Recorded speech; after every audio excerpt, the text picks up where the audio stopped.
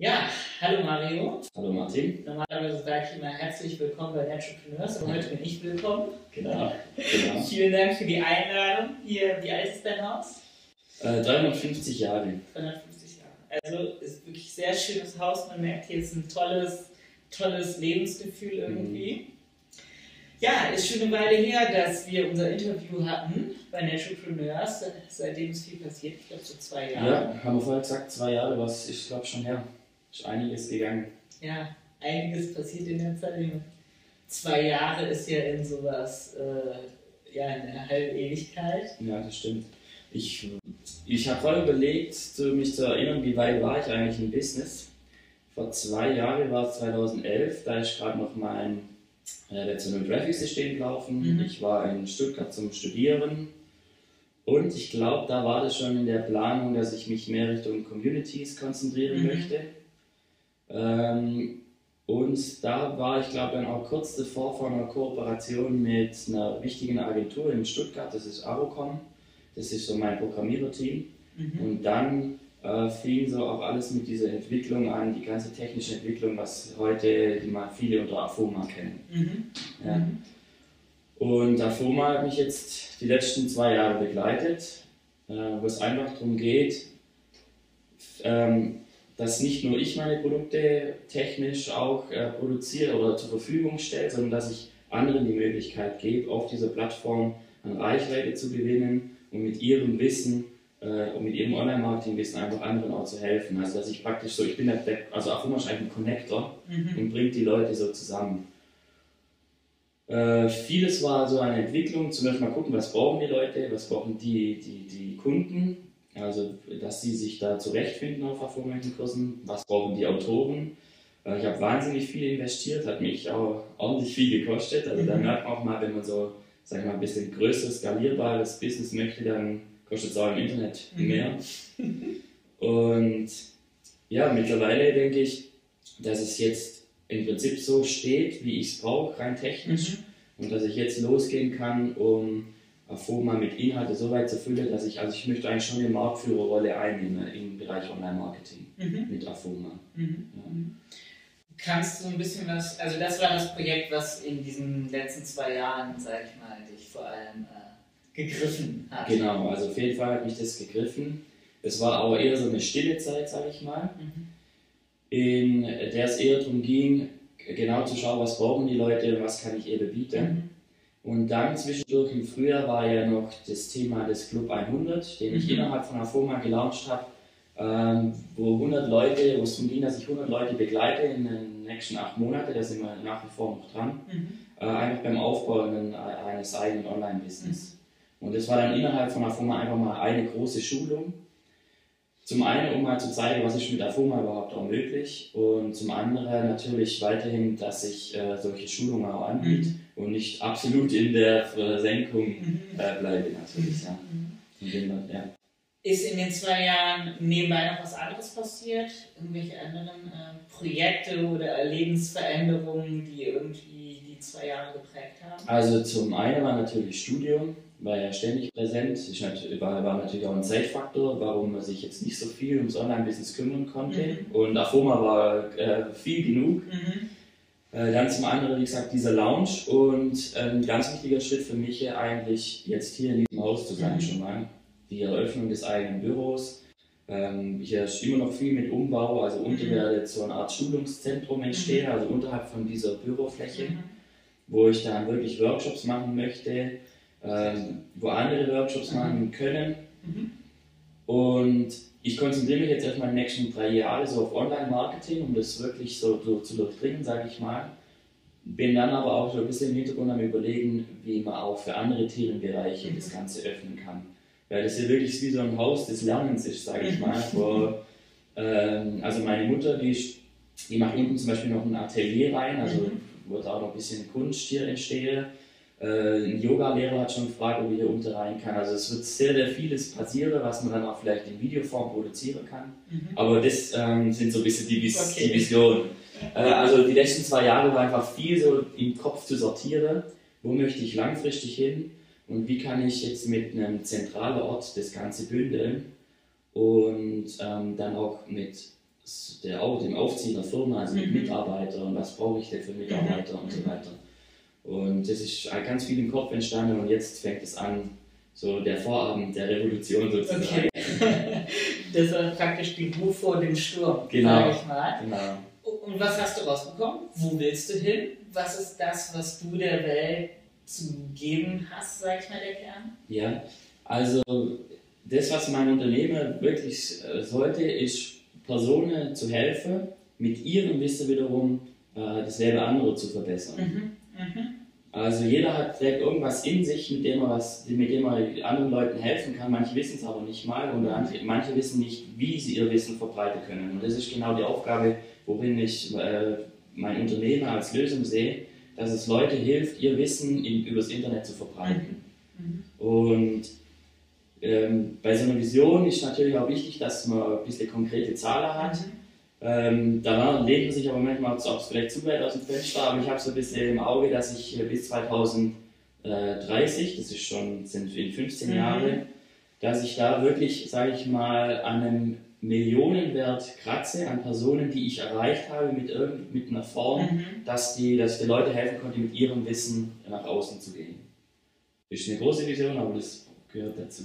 Ja, das ist große Visionen ziehen ja auch mehr Ja. Energie und versammeln ja auch mehr die Leute um einen rum, die auch was Großes schaffen wollen. Nicht Ja. so Auf jeden Fall. am Tag drei Leute anrufen. ja. Ja. gut, man bricht dann so eine Vision herunter auch auf eine, auf eine Zielplanung, sagen wir mal in den nächsten zehn Jahre, oder bricht Mhm. dann das wieder runter auf die nächsten drei bis fünf. In den nächsten drei bis fünf geht es bei mir dann eher darum, mit allein im Bereich Online-Marketing Mhm. sich das zu durchdringen und danach dann andere Themen. Aber dann bricht man das ja auch so herunter bis dann zum Jahresziel und Quartalsziel. Mhm. Bis wie weit gehst du runter? Weil da haben wir gerade im Team unsere, Okay. unsere Frage, sollen Also wir ich es weiter als Monat oder äh, reicht es als Monat? Also ich denke, dass man für ein Quartal fünf, äh, so drei bis fünf Prioritäten setzen Mhm. sollte, die man da erreichen möchte. Und dann sollte man aber meiner Meinung nach einmal in der Woche ein Meeting haben, Mhm. Wo man darüber redet, wie komme ich jetzt in dieser Woche diesem Quartalsziel näher. Mhm. Und das Quartalsziel wiederum ordnet sich dem Jahresziel unter und das Jahresziel wieder dem Mhm. also es ordnet sich alles letztendlich der großen Vision unter, aber halt ähm, immer in der Woche, ähm, praktisch in der ich dann das kontrollieren Mhm. kann auch. Ja? Also so ist das gerade bis der, da kann ich auch das Buch empfehlen, das mir wiederum der Ulrich empfohlen hat. Ulrich Eckert, äh, das Wachstum durch Führung. Wachstum durch Führung. Ja, ich, äh, ich habe es jetzt gerade, ich habe es gerade drüben, Mhm. aber es ist ein ganz tolles Buch, Wachstum durch Führung. Ähm, ist zwar nur so ein Büchle, kostet 40 Euro, aber es äh, haut mich gerade um. Ja. Und da geht es ganz stark um diese Dinge. Ja. ja super. Ähm, du hast gesagt Studium, Mhm. das ist, das hast du fertig gemacht. Äh, ich ich äh, führe es gerade zu Ende als Fernstudium jetzt noch, weil Mhm. jetzt einfach hier äh, meine Person gefordert war.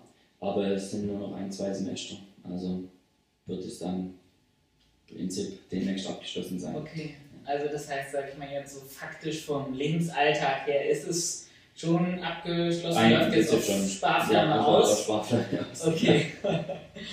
ähm, und also es ist ja so, dass du, ähm, ich will noch mal weiter aus. Ja. Ähm, ich hatte mal einen Freund und der hatte, als wir beide, ähm, da war ich 14, da war der 15, wir haben mit zusammen Tennis gespielt und da hatte der eine geniale Business-Idee. Da hat der Okay. gelesen im Internet, damals noch so mit den 56K-Modems und so, ähm, Nokia-Telefon, dass man da andere Klingeltöne drauf aufspielen kann.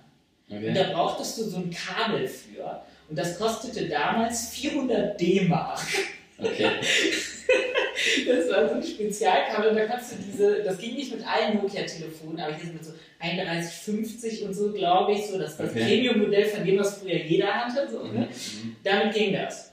Und dann, Also jeder brauchte dieses Kabel. wenn er sich seinen eigenen Klingelton drauf machen wollte. Damals hat man ja noch keine Apps gehabt Okay. oder so, ja. Und das äh, Aufladen ging auch an der Steckdose. Naja, auf jeden Fall. Und dann äh, war ich ein Jahr in Neuseeland und in der Zeit hat er herausgefunden, wo er die Kabel für äh, irgendwie 30 D-Mark das Stück in Hongkong bestellt oder noch günstiger Mhm. und ähm, hat die dann hier für 100 D-Mark verkauft, Okay. anstatt 400. Mhm. Mhm. Und das war die Zeit, wo die Leute das entdeckt haben, dass das ging. Und der Mhm. war der Einzige, der das günstig hatte. Und Okay. der hat halt innerhalb von wenigen Monaten halt ein sehr dickes, fünfstelliges Einkommen gehabt Mhm.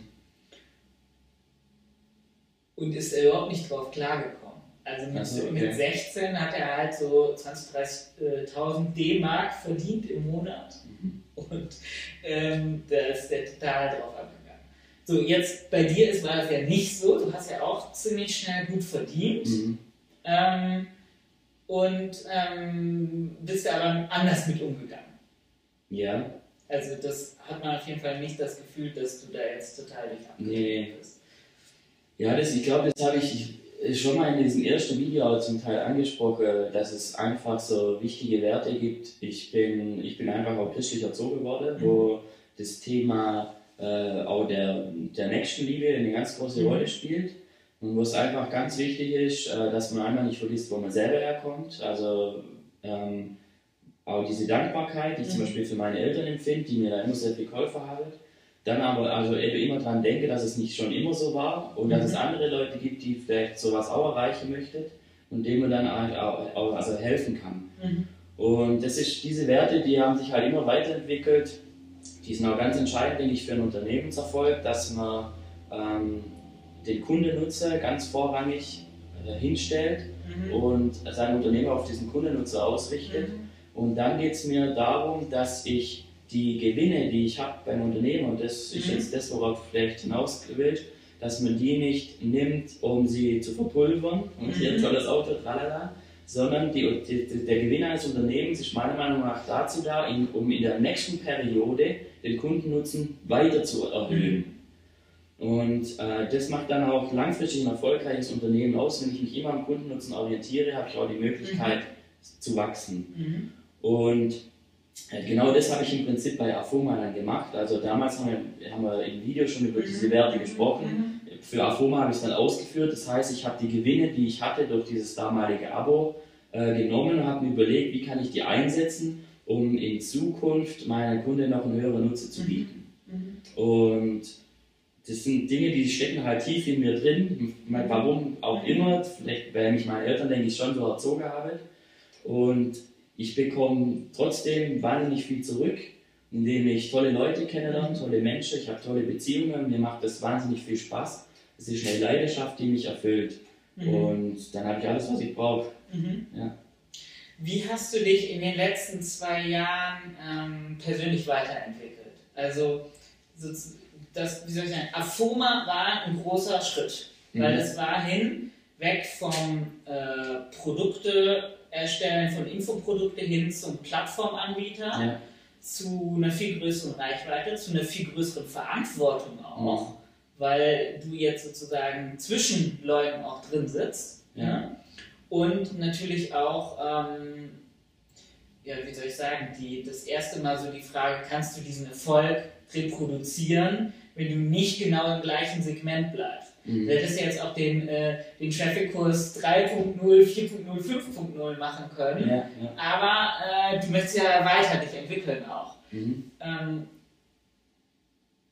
wie hast du das Gefühl, es geht da so diese geschäftliche Entwicklung und die persönliche Entwicklung, läuft das parallel? Gibt es da immer wieder Sachen, die sich gegenseitig äh, beeinflussen? Äh, schwere Frage. Also ich denke mal, am Anfang war es wirklich so, dass ich habe ein Produkt rausgebracht und es ging halt darum, äh, mich, äh, sag ich mal, erfolgreich zu machen. Mhm. Und es ist natürlich schon wieder eine ganz andere Sache jetzt bei Afoma, wenn es darum geht, zu versuchen, andere erfolgreich zu machen mit dem, mit dem Wissen, das man vielleicht hat. Also es ist, äh, es geht, gut, ich weiß, ich, egoistisch kann ich jetzt nicht sagen, ob ich das war, aber ich glaube, es geht halt noch weiter, zu sich, zu, sich zu überlegen, äh, was kann ich halt noch für andere noch mehr tun. Oder diesen Erfolg, den man halt hat, auf andere zu Mhm. versuchen zu, ähm, Mhm. wie sagt man da, ja, Zu teilen, zu teilen, ja, ja, zu multiplizieren, ja. Äh, was brauchst du da für eine persönliche Entwicklung? Ich denke, äh, zum, zum Teil muss man ein bisschen selbstlos sein. Mhm. Zum anderen darf man aber auch nicht vergessen, wie wichtig man selber ist für das Ganze, sonst funktioniert es ja auch gar nicht. Also es bringt nicht nur, wenn ich immer nur andere Mhm. irgendwie unterstütze. Ich meine, man muss mal an sich denken. Also ich kann nur anderen helfen, wenn ich selber eine gewisse Stärke habe.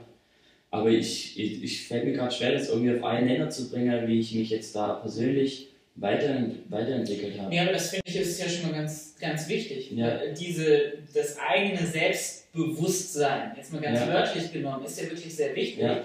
Weil nur wenn du weißt, auch was du dir auch selbst, wer du bist, was Mhm. du selbst auch wert bist, nur dann aus dieser Position der äh, inneren Stärke heraus, kannst du ja, das auch loslassen und sagen, hey, ich mache jetzt mal ein Business, wo es überhaupt nicht um mein Ego geht. Genau. Die Leute werden sich wundern, dass die zwei Jahre lang nichts von mir hören Ja. und äh, werden sich aber wundern, wieso sie immer erfolgreicher werden. Ja? Ja, genau. Und ich meine, da kennen wir beide auch Leute, da wüssten wir, ähm, für die ist dieses Geschäftsmodell überhaupt nicht geschaffen, weil das, weil das Ego würde irgendwann rebellieren und sagen, nee, jetzt machst du hier den Videokurs erstmal, wo du wieder im Rampenlicht stehst. Ja? Ja, genau. Also das auf jeden Fall. Also ich denke auch, gerade bei dem letzten Launch da im, im, im, im Frühjahr, da habe ich eigentlich so diese krassen Erfolge total äh, rausgenommen aus, Mhm. dieser, aus dieser Videoserie, sondern eigentlich nur darüber geredet, was für Möglichkeiten es gibt und einfach dieses ganz seriös angegangen, ähm, dass, es, dass es einfach Wege gibt im Internet, die sehr schwer sind und wo sich Leute schwer tun, Mhm. dass es einen einfacheren Weg gibt und wie man den gemeinsam bestreiten kann. Also das habe ich eigentlich viel stärker in den Mittelpunkt Mhm. gestellt. Ja. Mhm. Und äh, das, trotzdem war das absolut erfolgreich. Also auch wenn nicht ähm, Hinz und Kunz von den ganz großen Internetmarken mitgemacht hat, war das äh, super, wurde das super angenommen. Die 100 Plätze waren ja schnell weg. Die waren, die waren in neun Tagen waren die weg. Ja. Ja. Mhm. Also es war schon allein durch, das, durch diese, dieses Transportieren der Werte, die man eigentlich da vermitteln möchte. Ja. Also es ganz- hat mich auch fasziniert, wie, de, wie man das über Video transportieren kann. Mhm. Äh, war super interessant. Es gab natürlich Leute, die haben die Videoserie gesehen, die kennen mich schon seit vielen Jahren, da war es mir klar, die kennen mich. Mhm. Es gab aber auch ähm, einige Kunden, wo ich dann im Nachhinein gemerkt habe, die, die kannten mich vor der Videoserie überhaupt gar nicht. Ja. Sprich, die konnte ich innerhalb von drei Videos absolut von meiner Einstellung überzeugen Mhm. und von dem Wert, den ich in den späteren Monaten liefern äh, werde. Und ich meine, der Kurs, der war ja auch nicht gerade ganz billig. Mhm. Und trotzdem haben die nach drei Videos gesagt, ich vertraue dem Jungen so stark, dass ich ihm hier das Geld in die Hand gebe und der wird das die nächsten acht Monate mit mir durchziehen. Hat mich total fasziniert auch, wie das in Mhm. Videos geht. Also an die Leute da draußen, Videos ist immer noch ein absolutes Top-Thema. Videos machen. Ja, auf jeden Fall. Ähm, ja, und ähm, das ist natürlich auch äh, so, dass du auch einen anderen Style hast. Ne? Du hast mehr dieses Bodenständige, du hast mehr so dieses Ehrliche äh, und nicht dieses over the top, äh, sag ich mal so ein bisschen so den amerikanischen Ja, Marketing-Style, äh, ja. von dem viele ja mittlerweile verstanden haben, dass das in Deutschland halt so nicht funktioniert. Ja, das ist total witzig. Ich weiß, ähm, es, hat, es haben sich so viele Leute auf Internetmärkte an, immer an Amerika orientiert, waren da anfangs auch ziemlich erfolgreich. Äh, bei mir war der Witz, äh, meine Englischkenntnisse sind äh, nicht gerade der Hit. Mhm. Das heißt, ich habe mich schon von Natur aus nie an Amerika orientiert. Ich kannte die Marketer da gar nicht, Mhm. sondern habe dann immer geguckt, also wie machen es jetzt die, die es au- aus Amerika kopieren Mhm. und wie mache ich es jetzt in meinem Stil. Mhm. Und interessanterweise gab es dann echt Zeiten, gerade mit dem Abo damals, wo ich dann welch, wo ich einige überholt habe, sage ich mal. Mhm. Also egal, ob das jetzt, äh, wie man das jetzt äh, wahrnimmt, aber dass ich die halt irgendwie überholt habe mit den Werten, die die irgendwie aus Amerika umsetzen. Und dann hat man ganz klar festgestellt, ähm, dass es in Deutschland ganz andere, auf ganz andere Sachen Ja, ankommt. ja. Und das Lustige finde ich, oder was ich voraussage, ist, dass so unsere Art Marketing zu machen, sage ich jetzt mal so nachhaltig, äh, bodenständig, authentisch, dass das was ist, was sich wiederum, äh, wo wir vielleicht mal so mehr die Vorreiter sind aus unserem, sage ich mal, mehr bodenständigeren deutschen äh, Idealen heraus, ja. Mhm. Also und äh, auch, sage ich mal, diese Werteorientierung, die mittlerweile da Einzug erhält, ja nicht nur überall, ja in den ganzen Businessbereich sind, ist es ja mittlerweile Nachhaltigkeit und so weiter Ja. viel wichtiger. Und dass sich das sicher da auch drauf aus, auswirken wird, ja. Also Ja. dass diese, dass ein Verkaufsvideo in äh, zwei Jahren wahrscheinlich auch nochmal anders aussieht. Ja, ja, denke ich schon. Ja, das, also man, man sieht einfach, dass es auf fruchtbarem Boden fällt, das Ganze. Mhm. Und das also, aber da verändern sich auch die Kunden. Mhm. Also das muss man auch sagen. Äh, diese diese Hype-Lounges und ständig in einer anderen Lounge, das hat äh, vor drei, vier Jahren hat das funktioniert, weil auch die Leute so sich da haben erstmal mitreißen Mhm. lassen. Mhm. Und dann aber von Zeit zu Zeit gemerkt haben, auf, äh, das kommt gar nicht an Mhm. und es ist zum Teil mehr Schade als Rauch. Mhm. Und auch die Kunden haben sich da gewandelt, Mhm. also in der, in der Internet-Marketing-Branche. Und was auch noch so ein bisschen der Trend, den ich sehe, ist, dass es halt einfach, es gibt so diese Internetmarketer, wo ich selber, sage ich mal, dabei war oder wie auch immer dabei bin, aber es kommen auch jetzt ganz vermehrt diese äh, Leute, die äh, anfänglich stark in der SEO-Szene drin waren und jetzt auch noch viel mehr Online-Marketing, äh, also die ganzen Kanäle anbieten Mhm. Und die auch viele seriöse Produkte haben, äh, wie zum Beispiel Sistrix oder Mhm. ähm, was gibt es noch, dieses äh, SEO-Tool, also Xovi gibt es ja. Und dann nochmal, also äh, onpage.org natürlich. Also, Oder äh, ich drop jetzt hier mal crawl.me, das Okay, Ganze crawl. richtig dicke Seiten. okay. Also es, man merkt, dass halt äh, auch die, also es gibt so, es gab, oder ich sag mal eher, es gab so zwei Lager. Mhm. Äh, die einen eher so auf Dienstleistungen, auch für Unternehmer Mhm. und die anderen, das sind eher die Internetmarketer, aber ich denke, das entscheidet sich auch stark in der Zielgruppe. Mhm. Die haben dann eher die Kunden, die sich einfach privat eine kleine Existenz aufbauen möchten. Ja. Aber ich glaube, so langsam vermischt sich das auch immer mehr. Mhm. Und äh, ich sehe jetzt auch immer wieder, dass äh, Leute auf Facebook miteinander kommunizieren, die vor zwei Jahren gesagt haben, mit dem rede ich nicht, der ist Internetmarketer. Mhm. Ja, ja. Also, also das finde ich ganz interessant, wie, wie sie einfach so eine Dynamik in dieser gesamten Branche Ja. drin ist. Da bin ich mal gespannt, ob die Leute dann in zwei Jahren auch zu mir ins Interview kommen, weil es immer noch welche Ja. gibt, die sagen, nee, du hattest den, also da komme ich auf keinen Fall. Ja, gut. Also da muss man über seinen Schatten einfach Ja. Springen, finde ich. Wir haben ja eben schon drüber gesprochen, das finde ich auch ganz interessant, das passt jetzt vielleicht ganz gut, dass sich ähm, ja, ich sag mal, unsere Branche auch weiterentwickelt. Am Anfang war es nur das eine PDF, was du runtergeladen hast, dann Mhm. kamen so Kurse dazu. Mittlerweile ist so ähm, äh, auch mit diesem Boom im äh, Massive Online Learning äh, kommen auch viel mehr so lernpsychologische Aspekte da rein. Also Mhm. dass wir auch gucken, wie bauen wir sowas Ja, äh, überhaupt äh, pädagogisch gut ja. auf, um den. Leuten da den, den maximalen Mehrwert zu bieten. Und jetzt ähm, verfließen irgendwie so Produkte und Dienstleistungen Ja. so ein bisschen zusammen. Ne? Also so dieses Training und Wissen weitergeben ist immer noch eine wichtige Sache, aber so dieses wie kriege ich die PS dann noch echt auf die Straße, das ist Mhm. eigentlich die zentrale Frage geworden und nicht, wie, wie, krieg, wie komme ich an das Wissen. Ja, also dieses Wissen umzusetzen, dafür eine Hilfe zu, zu geben. Also man hat halt auch gemerkt, das ist ganz stark diese Informationsüberflutung Mhm. bei ganz vielen Leuten und man merkt jetzt einfach, äh, wie viele Services auf den Markt kommen und Dienstleistungen, die helfen, das Wissen halt umzusetzen. Ja, du hast ja vorher darüber gesprochen, über deine, ich weiß nicht, ob du das sagen darfst schon, die WordPress-Geschichte Das darf man schon. ähm, wo du da den Leuten hilfst, einfach äh, ein gutes Hosting und viel Sicherheit zu haben. Es sind andere Bereiche, wo man dann sieht, dass die eher vor Ort helfen Mhm. möchten, äh, durch Akademien, die Mhm. vor Ort entstehen. Ähm, oder gerade jetzt in dem Fall Afoma ist jetzt was, wo ich, allein, wo ich die Technik biete, dass man Mhm. ganz einfach Schulungen äh, online stellen kann. Und so gibt es ganz viele Dinge, wo man sieht, es entstehen Dienstleistungen, Mhm. die helfen, das, das Wissen einfacher umzusetzen. Ja. Das merkt man schon, dass das ganz stark in diese Richtung geht. Mhm. Und es sind natürlich aber auch skalierbare ähm, Produkte, also Mhm. wo es dann wirklich auch interessant wird. Es kostet am Anfang mehr an Investitionen, sowas technisch zu, so eine Infrastruktur zu schaffen für solche Dienste. Aber dann ist natürlich ein skalierbares äh, Business, was Mhm. schon sehr interessant ist. Ja. Äh, Sprechen wir mal darüber, nämlich, ähm, also ich denke, das ist ja so ein bisschen, ähm, wie soll ich sagen, das sind so die ersten beiden Haken, die man bei so einer Business-Idee, Check Checkliste macht. Ist es skalierbar, ist es automatisierbar Mhm. äh, und bietet es einen Mehrwert, macht's, liegt es irgendwie in meinem Bereich und so weiter. Ja. Ähm, aber sowas wie Afoma hat natürlich auch viel mehr Betreuung und er erfordert auch Mhm. ein Team. Das heißt, man Mhm. muss sich auch selber ähm, mehr skalieren können als ja, vorher. auf jeden Fall. Du hast jetzt auch angefangen, dein Team wirklich aufzubauen. Mhm. Ähm, wo bist du da? Wie weit bist du da?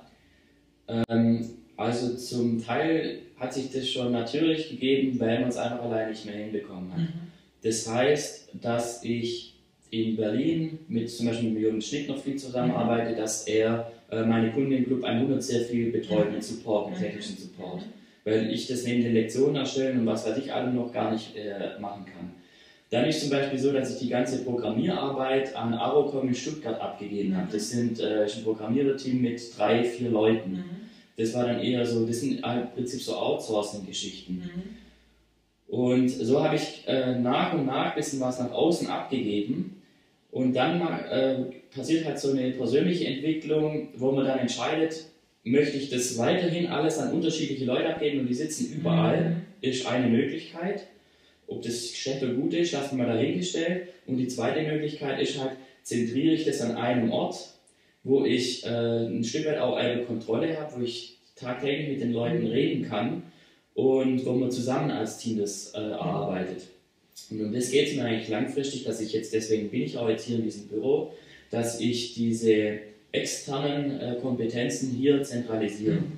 Und Gleichzeitig macht man aber überhaupt in der persönlichen Weiterentwicklung den Schritt zu sagen, ich, ich entscheide mich jetzt gar nicht mehr selbstständig zu sein, mhm. sondern ich fange eher an, ähm, ein Unternehmen wirklich aufzubauen mhm. und versuche auch immer mehr aus dem Unternehmen selber rauszukommen und es aus der Vogelperspektive zu betrachten, um an Unternehmen zu mhm. arbeiten. Mhm. Soweit bin ich noch lange nicht. Äh, bei mir geht es jetzt erstmal darum, hier die Mitarbeiter herzukriegen, dann eine Struktur reinzukriegen, aber einmal auf der Seite dass ich äh, den, zum Beispiel den Produktionsleiter habe, der dafür mhm. sorgt, dass neue Schulungen entstehen. Mhm. Auf der anderen Seite der Vertriebsleiter, der dafür sorgt, dass die Schulungen vermarktet werden. Mhm. Also so, man baut sich da so innerhalb der Firma eine Struktur auf. Aber das hat bei mir, glaube ich, glaube ich, auch jetzt die letzten zwei Jahre gedauert, dass ich überhaupt mal sage, ich fasse jetzt den Mut zusammen und gehe überhaupt den Schritt, dass ich für andere Verantwortung übernehme. Ich musste ja auch zahlen können. Mhm.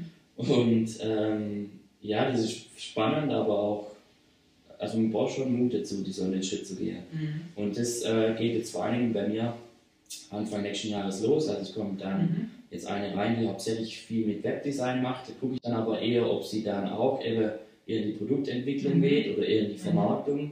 Weil in die zwei Bereiche, die ich gerade angesprochen habe, in die wird schon stark gehen mhm. im Online-Business.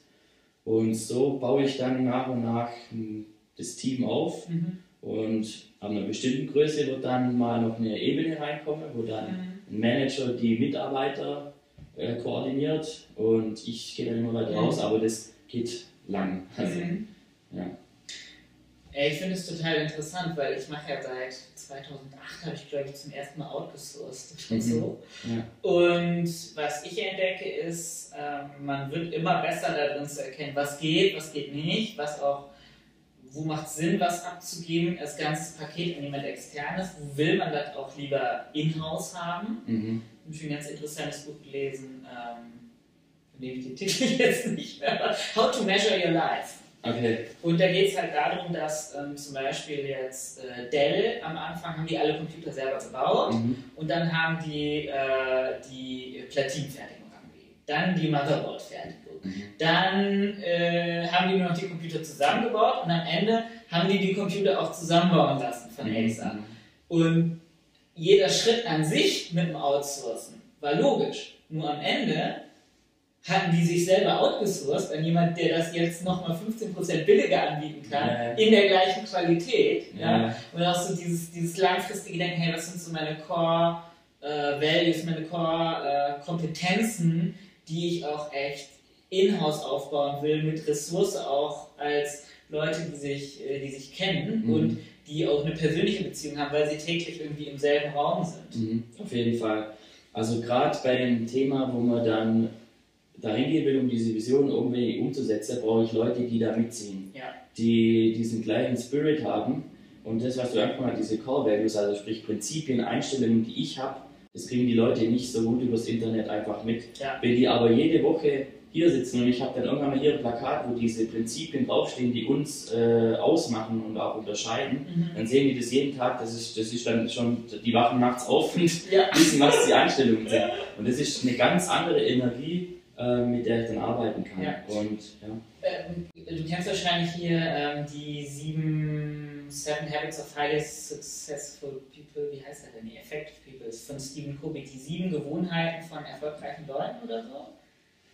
Ich, hab ich, ich glaube, ich habe da mal einen Blogartikel drüber gelesen, aber. Naja, auf jeden Fall, äh, das hört sich so ganz businessmäßig an, ja. aber was er halt auch sagt, äh, dann kommt er irgendwie in so ein Hotel und das ist total toll vom Service und jemand kriegt seinen Raum nicht auf und dann steigt einer von der Leiter runter und macht den auf und, äh, und äh, da, das reflektiert er in einer seiner Lektionen und sagt, hey, ähm, wenn du ein Wertesystem hast, ein äh, intaktes, authentisches Wertesystem, nach dem sich eine komplette Gruppe richten kann, das ist so kraftvoll, mhm. weil du bei jeder Entscheidung immer weißt, in welche Richtung du gehen musst, nämlich abhängig von deinem Wertesystem. Mhm. mhm. Du musst auch nicht groß lange dann überlegen, mach ich das jetzt so oder so. Nee, du hast schon, sag ich mal, dein Entscheidungsmanual immer dabei. Ja? Soll ich dem Kunden jetzt sagen, ach scheiße, fick dich? Oder soll ich dem jetzt sagen, okay, ich verstehe das jetzt eigentlich nicht nicht unser Zuständigkeitsbereich, aber mal gucken, was wäre denn, wie können wir Ihnen denn weiterhelfen jetzt. Ja, ja. ja.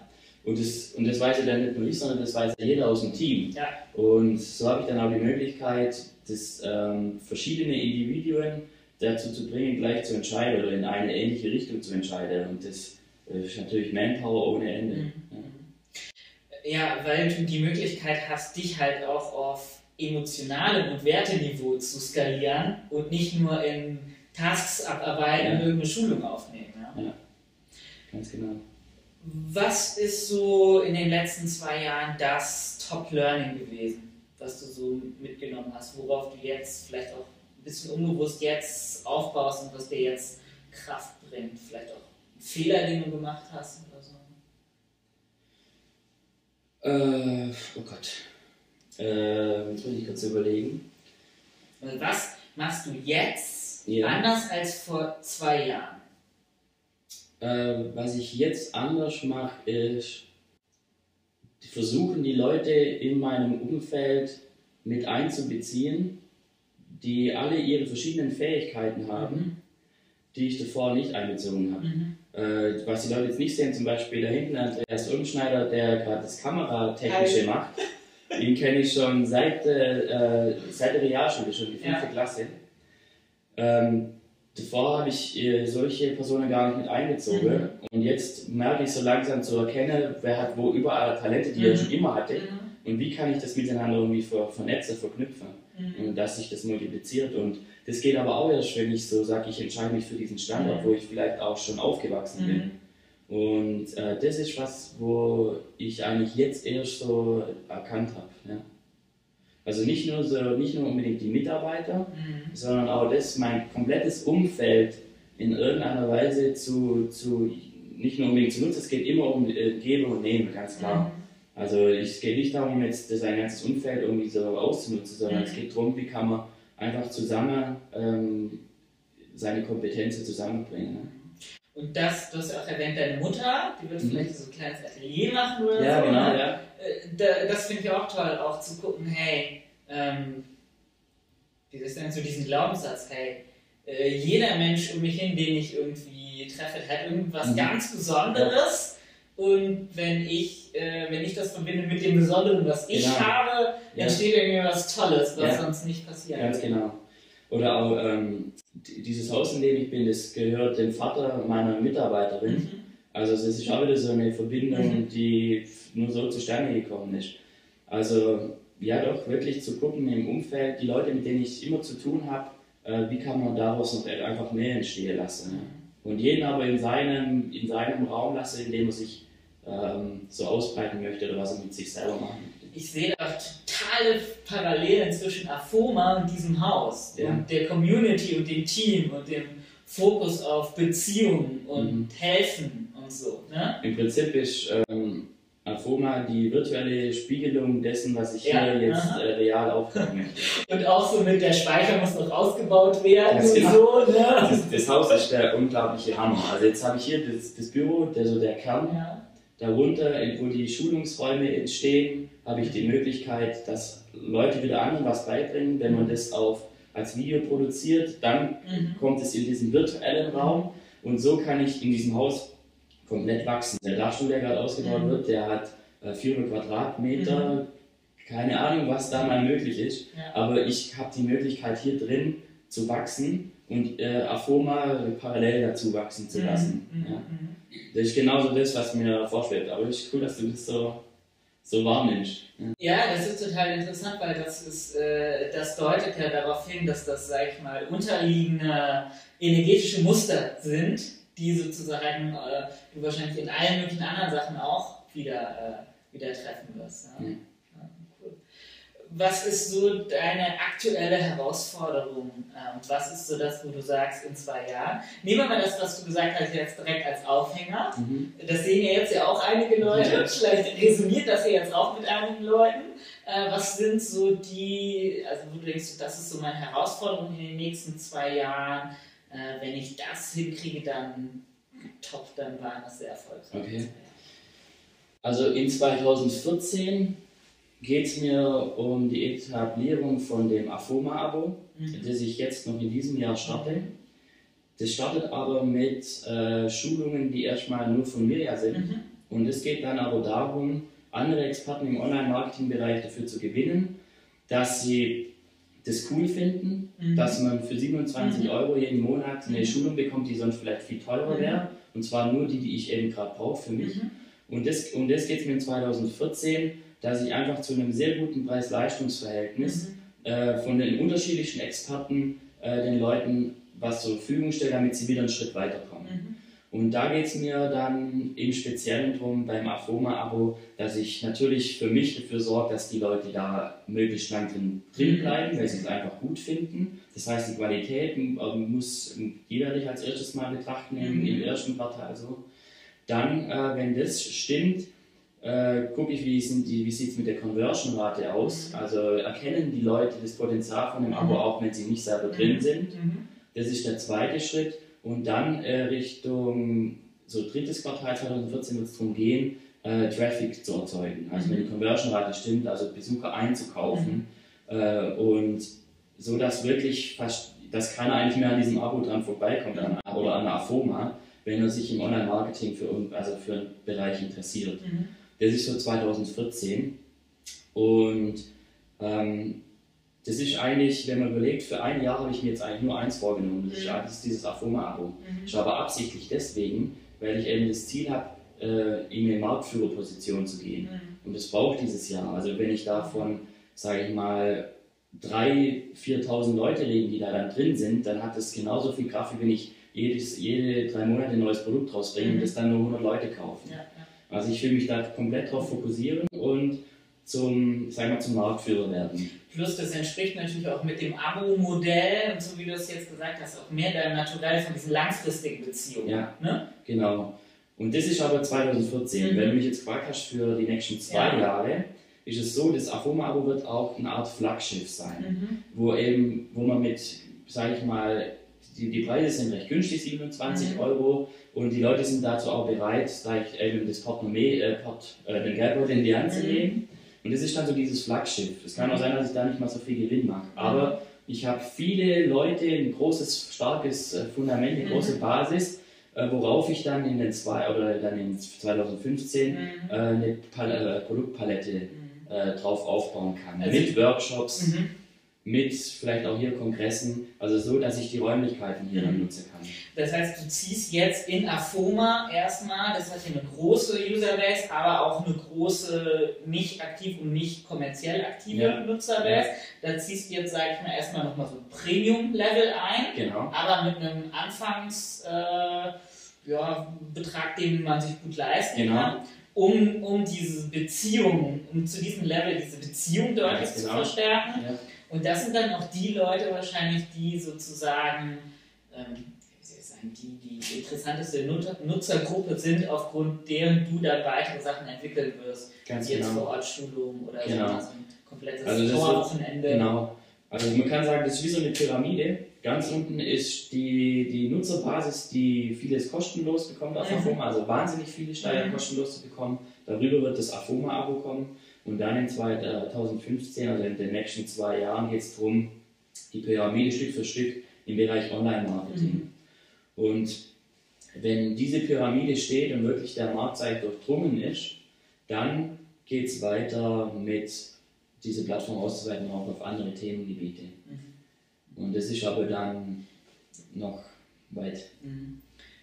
Vielleicht noch so eine kleine Anekdote. 2011 habe ich einen, so einen Preis gewonnen für Businessplan-Wettbewerb. Okay. Das hieß The Expert Network. Und da ging es darum, äh, also mein Elevator Pitch war, glaube ich, ungefähr so: Es gibt Leute, die ein unglaubliches Wissen haben, mhm. das für die Weiter Weiterentwicklung unserer Gesellschaft von großem Nutzen und wichtigem Wert ist. Mhm. Die, viele dieser Leute haben aber nicht das technische Wissen, mhm.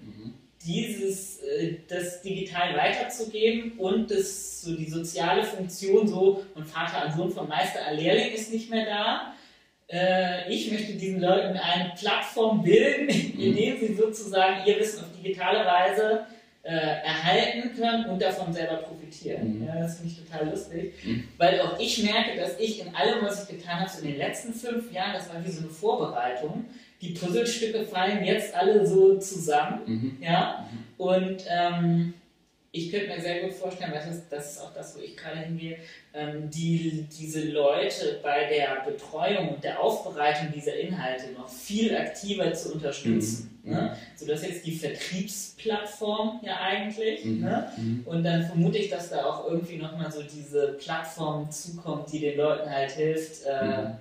Ne? Also wir haben jetzt zum Beispiel einen Service, da kannst du, äh, wir haben jetzt halt einen Partner, den kannst du 50 äh, Word-Texte schicken mhm. und der liest die Korrekturen, der stellt dir Fragen und der macht das neu mhm. hin und hin, sodass am Ende wirklich dein E-Book auf mhm. Kindle als PDF und so weiter rauskommt. Also Leute, okay. die auch inhaltlich mitdenken können. Ne? Oder ja, Leute, die, äh, wo ich jemand hinschicke und sage, hey, äh, der hat seine Sachen, der zeigt dir jetzt einen Tag lang, wie du Rosen beschneiden willst. Nimm das als Video auf ja, ja, und schneid mir daraus den Kurs ne, und dann kriegt er den halt wieder so. Okay, also die Leute so mit der Dienstleistung zu unterstützen bei der Produktion der Inhalte. Ja, weil ähm, am Anfang, wo wir angefangen haben, war das ja stümperhaft. Da haben wir einfach unsere Sachen so in so ein PDF gemacht und dann nochmal überlegt, ja, wie könnte man das jetzt reinfolgen und was könnte sich auch noch eine E-Mail-Adresse eingeben, wenn die Leute Fragen haben. Ja?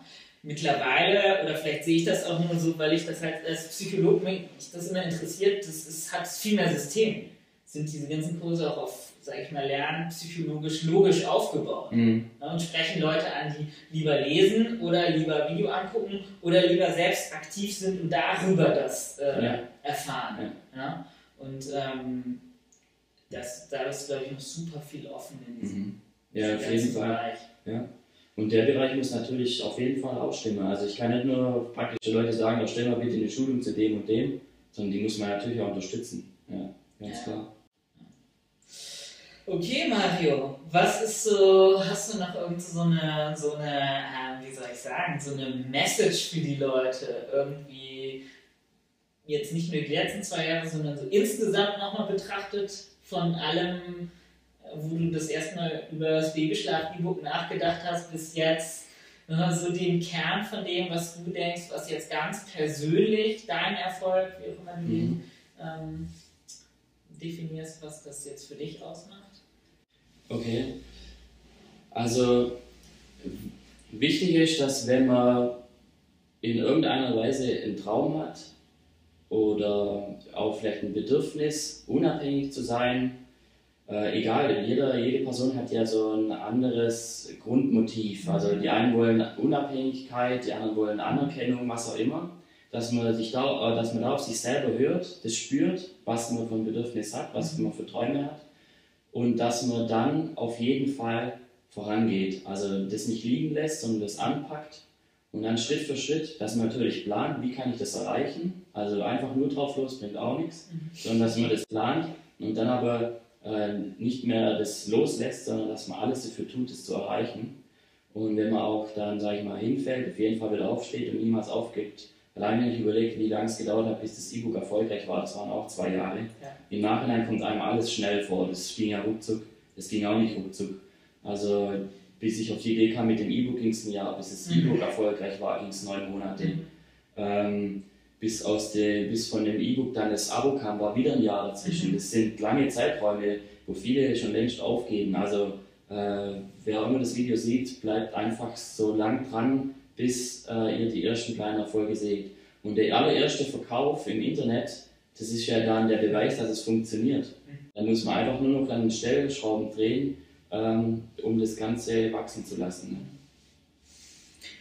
Okay, super. Ja, ich freue mich sehr. Vielen Dank. Gerne, ja. Danke für das Interview, für die Einladung und halt, ja, dass es zum zweiten Video kam. Ja. Freut mich sehr. Ja, ich hoffe, wir werden, wir wohnen ja jetzt sehr nah beieinander. Ja. Vielleicht äh, können wir das irgendwie so im jährlichen Abstand oder so Ja, wiederholen, denn das finde ich auch total interessant, das zu sehen, wie sich das entwickelt. ja, Ähm, Und ähm, ich glaube, dass da viele Leute auch von sehr profitieren werden. Also, was Mhm. ich nochmal vielleicht auch reingeben kann, dass äh, das Denken in Systemen Mhm. mit dem Endziel für jemand anders äh, diese Welt besser, einfacher zu machen, Mhm. ist, glaube ich, was, was über kurz oder lang immer zum Erfolg führt, also sowohl Mhm. finanziellen als auch persönlichen. ja. Und ähm, wir uns einfach mal an, wie sich das entwickelt in Genau. den nächsten Jahren. Okay. Gut. Danke, Mario. Ja, danke gleichfalls. Und tschüss. Ja, tschüss. Alle Kommentare, Fragen und so weiter einfach hier unter das Video, wo auch immer es jetzt erscheinen mag. Und dann äh, gehen wir darauf ein. Ciao. Ciao.